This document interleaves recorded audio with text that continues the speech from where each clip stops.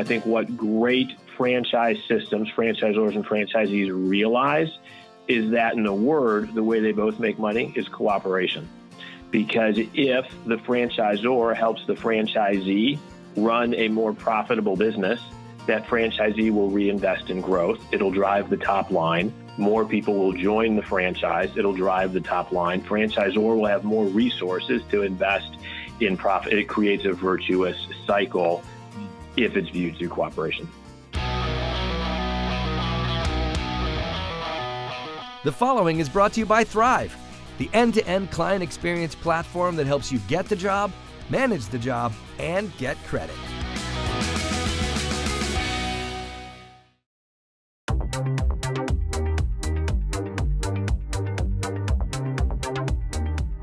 Welcome to Winning on Main Street. I'm Gordon Henry. Each week at Winning on Main Street, we speak with a great entrepreneur. And today we're speaking with Mike Skitzki. Mike's resume reads like a history of franchise in the United States. For decades, he's played a key role at regional and national franchises, including the Belfor Franchise Group, a large disaster restoration company which owned the franchise chains HOODZ and DUCTZ. Then Mike moved on to Title Boxing Club, and now Franworth, which is a company that builds franchise systems. Mike's partners there at Franworth include John Rotche, who was on our show recently, and an investor you may have heard of named Drew Brees. Yes, that Drew Brees. Welcome, Mike. Hello, Gordon. Thanks for having me. Awesome to have you. So, Mike, I really excited to talk about your amazing career. You've really done a lot in the franchising space. How'd you get into franchising and why'd you find it to be a good career path? Boy, uh, gr- great question, and I, I, would love to tell you that it was part of uh, just uh, a great master plan hatched at birth, but it was uh, a little bit accidental. So, uh, out of uh, out of college, armed with my English degree from Ohio State University, I, like a lot of good arts and science majors, went to work for Enterprise Rent a Car and uh, learned a tremendous amount about organizational management and sales and, and, really loved my time there. Got promoted pretty quickly into the fleet services division. And through that, we helped businesses manage fleets of cars. And I met a fellow who was a franchisee. His name was Dane Benson. He owned a Mr. Handyman franchise here in Michigan. And Dane and I went to lunch to talk about his fleet. And he was so excited. He had just bought this new business and he and his wife were starting out in a new chapter of their life. And he needed help managing his fleet, and his fleet had two vans. And I said, Dan, I said, I, I hate to tell you, but that's that's smaller than a normal fleet. That's you know normally we do dozens or hundreds of vans. I said I'd, I'd, love to help you. I'm so excited for what you're doing, but you only have two vans. And he said, well, gosh, that's a shame. He says, you know, there's a franchisee down the road in Detroit with two vans, and there's another one in Toledo with two vans, and there's one in Cleveland with two vans. I said, Well, Dane, I said, I, I have two questions for you. Um, what's a franchise and how many of you are there?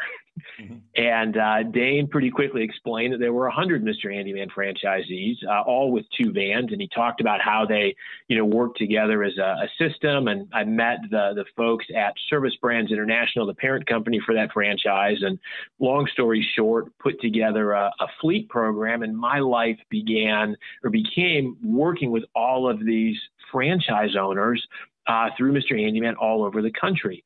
And where before I was helping CFOs improve their lease rates and shave half a point off one line on a P&L. Now all of a sudden I was helping families start small businesses, create jobs, invest in their communities. And I, I just fell in love with franchising. And the founder of Service Brands, David McKinnon, um, uh, noticed me, took a liking to me for whatever reason, took me under his wing and gave me a desk ultimately at Service Brands and started to mentor me and, and really taught me the, the, the franchising business. And uh, I've, I've never I've never looked back. It's uh, all about building personal relationships, and I just I just fell in love with the industry. Yeah. I heard that a little later in your career uh, when you were at Title Boxing uh, Tom Monaghan, the founder of Domino's, stopped by. I know Tom was a sort of connection of yours, and uh, he dropped by the club. And uh, you had a pretty interesting story to tell about his visit there. Can you share? I, I did. I'd, I'd, be happy to. And it's it's interesting. I've been you know really blessed in my life. The, the International Franchise Association recognizes one entrepreneur of the year um, uh, per year, only one person in all of franchising. There's a few dozen of these guys uh, and, and, and ladies around the country. Um, one of them was David McKinnon, who I mentioned, who was an early mentor to me. Another, John Rotche, who you mentioned earlier, my longtime, you know, friend and and mentor. Both of whom really kind of poured into my life. John worked for Tom Monaghan, the founder of Domino's Pizza, and Tom was a great mentor to, to John. So I spent much of my career working with John, hearing stories of what would Tom Monaghan do? how would Tom Monaghan solve this problem? You know what Mr. Monaghan, you know, would would say, and uh, learned so much of how Mr. Monaghan thought about franchising through through John. So when we fast forward to Title Boxing Club, we're helping expand uh, Title uh, across the country. We're just launching from a regional brand to uh, a national brand. Uh, John is, you know, president of Title Boxing Club at, at the time, uh, and I'm working as, as John's right hand guy. And John, very excited about title, invites his mentor, Mr. Monaghan, to um, into our title boxing club to show him what what we're doing. And Mr. Monaghan comes along uh, with uh, you know a, a, few folks on, on on his team, and all of a sudden, here is mentor to my mentor, icon of franchising, um, you know, standing you know inside of our, our little title boxing club. And John gives me a quick elbow, and he says, "Go ask Mr. Monaghan a question." And I thought, oh, oh my gosh, um, I should have thought of this in advance. I didn't really have something prepared. So I've got about four steps from myself to Mr. Monaghan. I'm trying to think of something that'll sound really smart. And I come up with this big, long, convoluted question around Mr. Monaghan. We're expanding title from a regional to a national brand. And I know you've always focused on the importance of having a single product in your business. And how should I, you know, scale the brand without losing consent? And I just went on and on and on. and Mr. Monaghan just stood there. He didn't turn his head. He didn't flinch. He didn't move. He just stood with his hands in his pockets. And I thought, oh my God, I blew it. That was a dumb question. He's not even going to look at me. And and then I start wondering, well, maybe it's loud in here. Maybe he didn't hear me. Maybe I should report, repeat the, the, the long question. And a moment goes by and it felt like an eternity. But what I realized was that Mr. Monaghan was actually looking around, you know, Title Boxing Club and was looking at the, the class that was going on. And Rachel, who was a, a med student at, at U of M, who was teaching the class, she was also in the boxing club. He's watching Rachel teach and he's looking at the, the, the monitors and the timers and just everything that's happening. And finally, he kind of looks at me and he shrugs and he goes, Well, your product's an experience and this is all great. So just do this every time.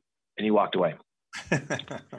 and I, don't know exactly what I was expecting. I think maybe I, I, I, don't know if I thought he'd pull out like this big leather bound book and say, "Well, Michael, here are the secrets of franchise." But he said, "Just do this every time." And uh, I was I was kind of bummed, but the more I thought about it, and then when I talked with John about it, you know, he said, "Well, gosh, that's the brilliance of Tom, you know, being so direct." Because really, when you think about it, to be great at a franchise or to be great at any any business, if you know what your core is, if you can boil it down to one sentence, and for title, it's delivering a great experience, and then you just do that every single time, um, it really becomes a great lens to look at your whole business through. So, um, yeah, great learning from Tom, and that became really the, the, the the backbone of the support infrastructure and the operations teams and all the resources we built together at Title. Great.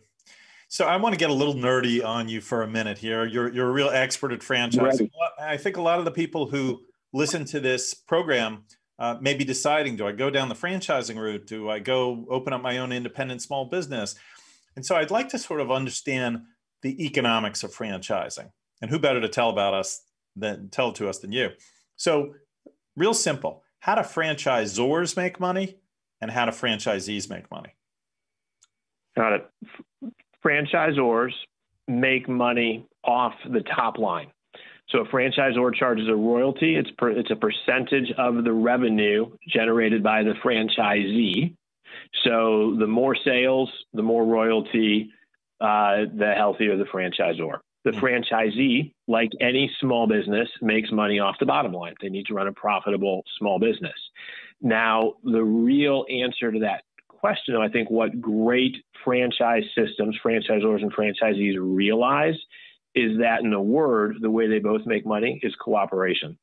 Because if the franchisor helps the franchisee run a more profitable business, that franchisee will reinvest in growth. It'll drive the top line. More people will join the franchise. It'll drive the top line. Franchisor will have more resources to invest in profit. It creates a virtuous cycle mm. if it's viewed through cooperation you know, in our world of small independent businesses, you know, many are struggling, particularly with COVID, but many have been struggling. Uh, you know, there's a high failure rate of small independent businesses. It seems to me, as an outsider, that franchises are everywhere. I mean, everywhere you look in Main Street after Main Street, you see franchises. Are franchises exploding and doing really well, or is that like not true and a misperception? And I, I think you know franchises you know are, are everywhere. Um, there's over 750,000 franchise establishments in the U.S. Uh, franchises contribute almost 500 billion dollars to the U.S. GDP every year. Uh, employ almost 8.5 million people. So there are franchises everywhere. But every single one of those franchises are in independently owned and operated local small business with somebody, you know, a, a family uh, standing behind that business, risking capital, doing the same things any small business owner are are doing. I think what you know what helps franchising is that in a franchise system, you have a whole network of other franchisees that you can rely on, and together. I think in any walk of life, together all of us are a heck of a lot smarter than one of us. And when you have friends and colleagues trying to solve the same problems, sharing ideas and best practices, and a franchisor facilitating that, and again, back to that idea of cooperation, um, you know, it's kind of the old adage, many hands make light work, and you get, uh, you know, that plays out in franchising. Right. You mentioned the risking capital part. How much capital does a franchisee have to risk to get started? And how does that compare to uh, starting your own small independent business, do you think? Got it. So franchises are across nearly every every industry in in the U.S. So uh, at the the high end of the spectrum, you know, restaurants or you know hotels in the hospitality industry, that's a large, that's a significant in, investment. Um, you know, at the other end of the spectrum, there's many small home-based service businesses that uh, a person could start for you know, tens of, of, thousands of dollars. Um, there are programs like the VetFran uh, program through the International Franchise Association that can provide you know discounts to um, you know certain folks who, who qualify. So it's a very it can be a very accessible business. Um, it's also a very very you know big you know business. Um, the a franchisee will typically pay a franchise fee to the franchisor kind of like the cover charge to become a part of the system. So the franchisor's job is to make sure that they provide enough value to justify that, as opposed to someone going out on their own. And does a franchisee usually get a territory Depends on the type of business. Some franchise uh, systems are built around uh, territories. So, in a brand like Title Boxing Club that we were talking about earlier, there's a physical location and there's a territory around that location. So, franchisees can cooperate without, you know, bumping too much uh, into each other. Uh, there are other businesses that, you know, don't lend themselves to, to territories. Really depends on the business model. Right. So it sounds to me like maybe there's more of an initial capital outlay by the franchisee than might be required in your own small independent business. Because in your own small independent business, a lot of people just start working, you know, kind of their own two hands. Depends obviously a lot on the business, but they don't have to pay an upfront free fee to get started other than whatever tools they may need. I mean, obviously it depends on the kind of a business you're in. Yeah, I think for you, if we were comparing, you know, two, you know, an, independent business and a franchise business in the same industry, one is not better or worse, one is not right or wrong. I think that the difference is in a franchise, you're paying a franchise fee, and there's training and learning that comes along with that. So hopefully, the goal would be you could build that business quicker. If you're starting out independently, you're not paying a franchise fee but if you make a couple of mistakes along the way, I know a lot of small business owners who'll say, gosh, if I only knew then what I knew now, I never would have spent money on what have you. a franchise can be a little bit of a crystal ball and help you avoid, you know, some of that. At the end of the day, plenty of healthy small businesses and franchise systems. I think it depends a lot on you someone's personality and how entrepreneurial mm. they are because a franchise also comes along with rules and systems. For some people that's really comforting and it's a great fit. Some people want to make everything up on their own. They're true true entrepreneurs and that's okay too but a franchise might drive them crazy yeah, I was going to ask you what are the key traits that make uh, a successful franchisee? And it sounds like you're sort of saying that some of those who are maybe truly entrepreneurial want to kind of write their own script. Maybe they should go the independent route. Somebody who likes the structure uh, maybe would do better on the franchise side. Yeah, I, I think that's a, a, good way to paraphrase. I mean, in a, a, franchise, one of the you know things you'll hear a lot of franchise you know owners talk about is you're in business for yourself, but you're not in business by yourself. And if that sounds like a good thing, having some systems to follow, some colleagues to collaborate with, um, you know, a path to, to, to, to walk while still very much making your own decisions and leading your own day to day you're a great fit for a for a franchise. If you really want to create something unique from the ground up, and it's a special kind of person who wants to do that, that's fabulous. But then a franchise would feel kind of restrictive. Right. now You've you've talked before. I've heard you talk about this magic number of hundred franchises in a franchise system. Like that seems to be where franchises become really successful and they bust through that hundred unit mark. Why is that important? Um, great, great question. So for a, a franchisor, you know, building out a, a, network of franchisees, when that business begins franchising, they've entered a whole new business, and now they need to. That franchisor is has agreed to provide branding and training and marketing and systems and support to all of their franchisees, and that that comes at a cost. And the more franchisees that you add, the more training and support and systems and people and, and infrastructure you need to um, be able to you know provide what what what they're looking for.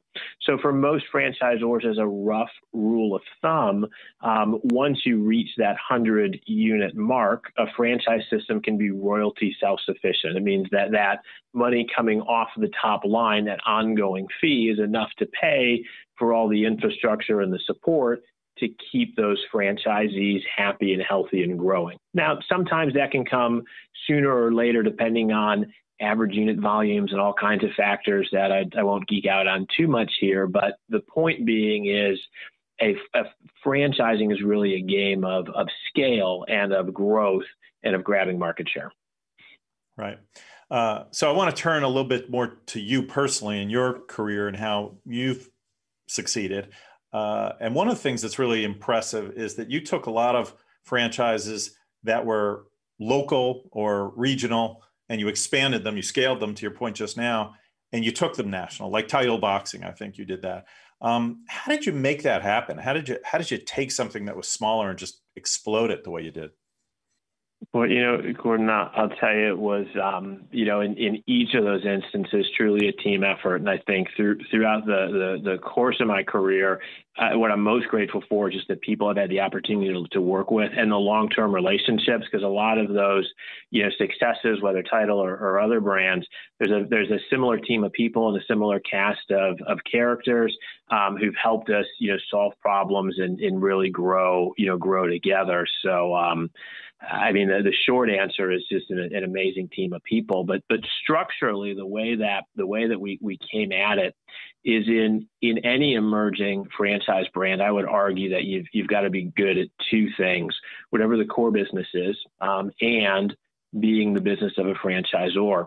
So when we met Danny Campbell, who's one of the co-founders of Title Boxing Club, Danny was a retired boxer, had a real heart for the the fitness of boxing. He wanted to bring boxing to the masses, use a boxer's workout for fitness, not fighting. Um, and and that's that was just what Danny was all about. But once he had 10 or 11 title boxing club franchises open, Danny's life was more about franchise sales, hosting discovery days, fixing, um, uh, real estate concerns, uh, all the things that go into managing a franchise business. Our team was able to come in, allow Danny to focus in on the core business, and then we were focused in on the franchise systems and infrastructure. And together, through recognizing that there's a core business and a business of franchising, both of those need to be staffed, both of those need to be funded, both those need to work in concert you know, then it was just a matter of, you know, laying out a great plan, executing on it, and we were able to uh, enjoy some great success. Speaking of your team, you've worked alongside John Rotche for many years now. Your careers, to some extent, have paralleled each other. Uh, you know, I, I, I, think of you guys as kind of the Lennon and McCartney of franchising. You know, you, have got all the hits. And uh, I was wondering, how are you and John different? What, why is this a good partnership? What, how, how do you differ and how are you, sim, you know, similar? Oh, the Lennon and McCartney. Well, you don't want to hear either of us sing, so I'll tell you. I'll tell you that much. We, um, I'll tell you, John and I have enjoyed a, a, long relationship. We've worked together for 15, probably coming up on 20 years now. Um, and, you know, John is very much a, a, visionary. You know, John is able to see you know what what can be. He's the eternal optimist. He's able to to cast a vision and build a team and you know bring people you know align people around you know that that that vision. And for much of my career, I worked alongside John as more of the the implementer. So able to see what the picture on the top of the puzzle box looks like, but also how to put all of those all of those pieces you know together so you know john would say let's do this. And I would say, great, how? And you know, we would would, would challenge each other, and there was always a, a healthy tension there. Uh, but John and I are you know truly friends, so um, you know that you know that helps. I think we you know each of us respects the other. Um, we enjoy not only working together and building business and the the, the business of franchising. Um, you know, we're both runners. We enjoy you know lunchtime runs you know together. I think John and I would you know be friends even if we didn't work together. So having that complementary skill set and um, uh, also that that friendship, you know, really helps. Now, I'll tell you the interesting thing that's happened over the years is I was asked this question a little while ago at a, a reception of some franchisees, and I described, you know, John's roles I just did to you, and mine is more of implementing. And one of my VPs was standing next to me, and he's kind of scratching his head, and I said, Aaron, what's what's the matter? And he goes, he shrugged his shoulders. He goes, I don't know. He goes, if you would have asked me that question, I would have said, you kind of set vision and tell us which way to go. And I help implement and put all of the pieces together. Mm-hmm. And uh, I thought that was really interesting. And over the years, with John really investing in me and pouring into me and, you know, coaching me, you know, I, I think my leadership style has evolved you know more you know toward that that visionary you know style and you know john's helped me you know, find opportunities to to lead brands myself and i've been really you know grateful you know for that so it's yeah, it, it certainly evolved over over the years. That's great. Uh, we're just going to take a really quick break, Mike, and we'll be back. I want to ask you about your book uh, that you wrote with John, Reach. Thank you. Looking for that extra spark of inspiration to take your business to the next level?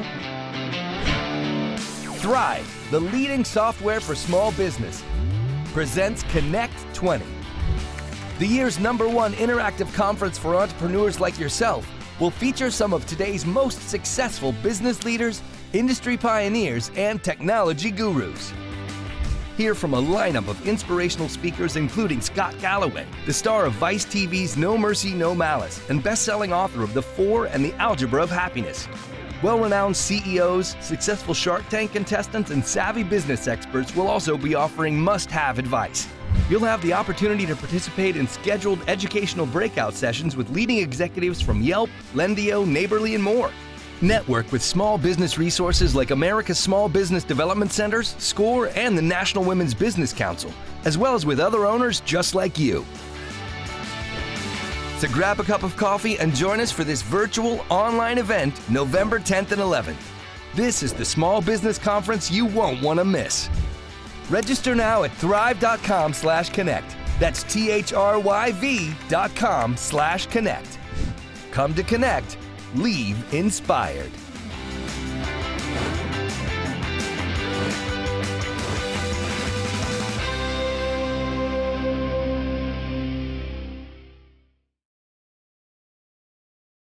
All right, we're back with Mike Skitzki, and we were just talking about his relationship with John Rotche. Uh, you guys wrote a book together, uh, which I listened to as an audiobook, was great, called Reach. Why don't you tell folks uh, who are listening what, what was the book about? What was the what was the point of that book? Absolutely. So, Reach is, is was really about the, the importance of, of human connections. Um, you know, John and I, both of us, have had a, a, number of, of great mentors in, in our lives, and, and, and John in particular has had just some some iconic leaders come into his life and pour into him and invest into him. So, Reach was really a, you know, a story and a celebration of, of mentorship. Uh, it's about reaching out to find a mentor. It's about reaching high for inspirational goals and then reaching back to be a mentor to someone else. Right. And writing a book together, tell me a little bit about that. What, what's, what's it like to co-author a book? Must be an interesting process. Any, any tricks or tips? You know, it, it, was an interesting process, and I tell you, all of a sudden, late in my career, that English degree came came in handy in a way I never, I never thought it would. Um, you know, I had spent you know so many years with John, um, hearing John's stories, and and John is uh, you know if you know John, you know he's a wonderful, wonderful you know storyteller, and you know can can share a story and and um, you know also share a you know a moral or a lesson or a learning that that he took that he took from it. Um, so I I knew so many of, of John's stories and, and the content and the way that we really worked together in, in writing the book was that John John was able to provide, you know, this this wealth of, of life experiences and mentoring relationships he'd had with uh, Bo Schembechler, legendary coach at U of M, and Tom Monaghan, the founder of Domino's Pizza. And, uh, John too was very close with David McKinnon, the founder of Service Brands. John could share all of that content, uh, and I was able to help put that together through, um, you know, into a bit of a, a, story arc. And then for each of, you know, John's, you know, stories, I wrote an application of how we took the learning from that story and applied it to one of the businesses that we had, had worked on over the years. So the writing process itself really kind of mirrored our relationship, you know, overall, you know, of John providing, you know, great, you know, great vision, great leadership, you know, learning from these great experiences. Um, and then I was, you know, more kind of putting pieces uh, together and, um, you know, talking about how we, we applied it in, uh, in our day to day. That's uh, fantastic. You, you, the book talks a lot about mentorship, and you mentioned some of uh, John's uh, mentors, very famous people. Uh, anybody uh, on your mentor list, people who mentored you, other than the names you've already mentioned? Well, you know, good, uh, you know, good, good, good question. Um, yeah, some some great folks we we've talked about here all, already. I'll tell you, it's never, you know, it's never too late in your life to to have a mentor. And maybe sometimes I think we, you know, we think back to who were mentors or early in our life. But uh, very recently, um, I've enjoyed a, a, great mentoring relationship with a fellow named Tito Diaz. I met Tito through uh, through through my church. He's one of the pastors there. He's recently um, uh, planted a church in Michigan called Reza uh, himself. Uh, and he's been a great uh, mentor uh, to me, um, and I've been able to help, you know, also coach Tito um, uh, on uh, some of the, the, the startup needs. Uh, you know, it ends up that starting a church in some ways is fairly similar to starting a franchise. so we've been been able to be great mentors to one another. That's awesome. I want to turn a little bit to your current business, Franworth just tell us, you know, what does Franworth do? It's not exactly a franchise in the traditional sense, right? But it is all about creating franchises. Yeah, absolutely. So, so Franworth really does uh, does does three things, uh, and, and we are, you know, Franworth has assembled a, a team with about 450 years of franchise uh, experience, um, and, and, that team helps to do three things. Uh, one, we, we operate franchise brands uh, in which we're we're invested. Uh, number two, we help build franchise systems. so we'll work with with a founder or with with an organization. we're doing doing this right now for um, for Hershey and for um, uh, a Berkshire Hathaway brand, helping to build the franchise system for those clients. and then number three, we provide related services that leverage uh, economies of scale and improve efficiencies for franchisors and other businesses. So we have uh, uh, a purchasing arm uh, which can help provide supplies to franchisees, and we have a service arm called Fran Works, which can provide back office services to uh, small businesses. And how do you find the franchises? Are they? I mean, you mentioned Hershey's and Berkshire Hathaway; those are two giant companies. They found you somehow, probably. Um, do people just kind of find you? Uh, how, how, do you connect with potential customers of yours or, or members of the firm?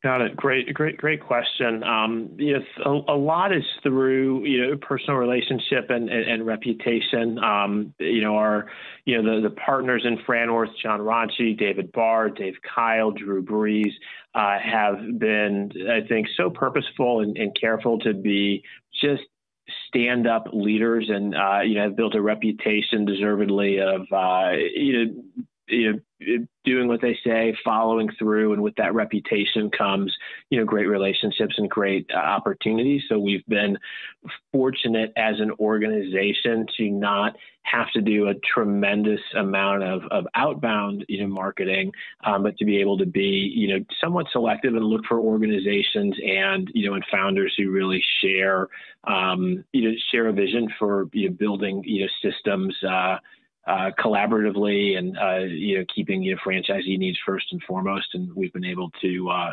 strike up some great partnerships. Great. We just have a couple minutes left. A quick question I, I can't leave without asking about sure. Drew, Drew, Brees, uh, guy we've all seen on TV for years and years. Uh, you know, one of the truly great athletes of our time. What's like? What's it like to work with a guy like that? Yep. So I've I've had uh, you know some opportunity to to, to work with, uh, with, with Drew. I, I first uh, met Drew. I was uh, uh, speaking at our supplier summit at, at Franworth, and uh, Drew attended, and he, he sat in the front row and was taking notes. And I've never been so nervous in in my life. Thought, oh my God, Drew Drew Brees is writing down something I I, I said. I hope I don't say something silly. Um, but Drew is such a he's such a student. He's a student of of franchising. Um, really, really loves the business world, the franchising world. Uh, he's a lifelong uh, learner. One of the the more humble folks that um, you know that, that, that, I've ever I've, I've, I've, ever you know met or, or worked with. Um, and he's able to apply a lot of the things that have made him a great leader on the field and in the locker room, uh, also you know make him a great you know leader in in the boardroom. He's been able to you know, you know translate those those learnings um, you know really uh, really well. Hmm. Great. That must be fun to uh, work with a guy like that. So uh, in our last couple of minutes here, just a couple of quick personal questions. So you got a tremendous resume, sure. tremendous career path, uh, great people you've been around. Um, what should people know about Mike Skitzki that's not obvious from the resume? What what's the little secrets we should know? That's a that's a fun uh, that's a fun question. You know, I, I, don't know if it's obvious from the, the resume or not, but I'll, I'll, tell you what I what I really really love doing, professionally or personally, is if if I can help someone, if I can encourage someone to do something that they didn't think they could do on their own, um, I just find that in, incredibly incredibly rewarding. So franchising is one way I'm, I'm able to do that. If you know, so many people have said, "Gosh, I've always wanted to start a business," and to be part of that moment when they do is is personally really rewarding. Um, outside of the the business world, um, I've taught rock climbing classes, which are you know equally fun, and so many folks will stand at the the bottom of a cliff and look at it and think.